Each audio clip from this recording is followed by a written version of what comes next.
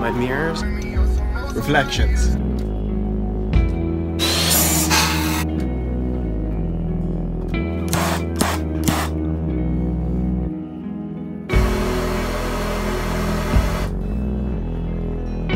Every two minutes it'll go off and then I need to try to encourage it to go down, blowing on it, restoking it. I just didn't know how long sage takes to burn.